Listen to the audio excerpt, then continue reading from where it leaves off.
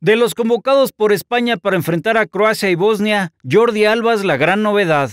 El entrenador de la Furia Roja, Luis Enrique, presentó a los medios su lista para la próxima fecha FIFA. El estratega había dejado fuera de la convocatoria lateral izquierdo del Barcelona en dos ocasiones.